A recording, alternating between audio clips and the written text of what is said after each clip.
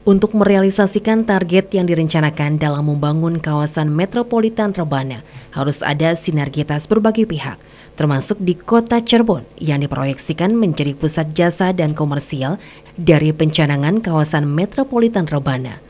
Pemerintah Provinsi Jawa Barat menargetkan rencana tersebut bisa menjadi kutub baru pertumbuhan ekonomi dan berbagai sektor, sehingga diharapkan akan berimbas pada kemajuan daerah.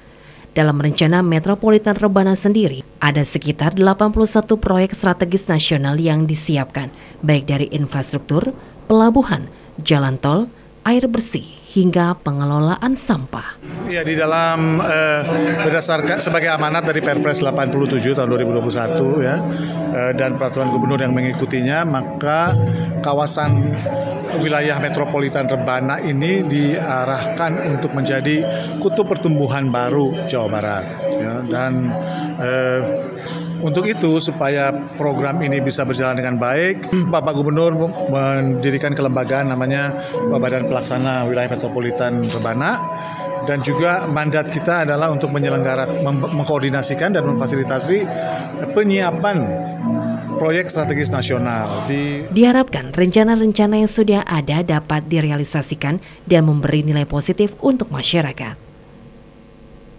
Hussein Sadra, RCTV, Cirebon.